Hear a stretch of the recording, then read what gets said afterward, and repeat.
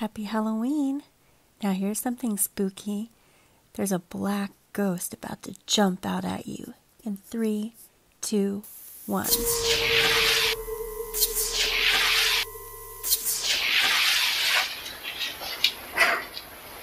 Busted, mother Effa! I dare you to eat her candy.